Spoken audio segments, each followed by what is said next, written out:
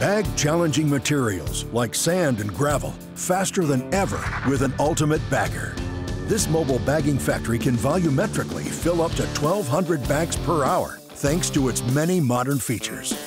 To prevent your material from bridging or packing inside the two cubic yard hopper, steep agitated walls shake only while material dispenses.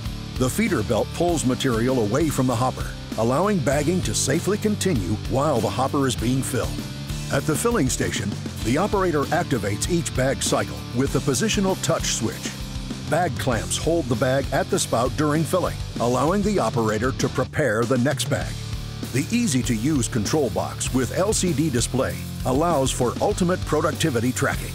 Set the belt run time, accurate to one hundredth of a second for precise, repeatable filling. Set the number of bags per pallet. As you fill, the machine will count each bag and alert you when you have reached your pallet count. Use the different dispensing modes for filling bulk bags, pots, boxes, and other containers. Once a bag reaches its set weight, the clamps will drop it onto the bag closing system, where it's conveyed through a sewing head and onto the pallet stacking position. Close 8 to 10,000 bags with each king spool of thread. When you're finished bagging, easily retract the feeder belt and lower and stow the bag closing table below. The Ultimate Bagger breaks down to a single crate with built-in fork tubes. Total footprint, only 7 by 4 feet. The machine is easy to learn and comes with 24-hour customer support.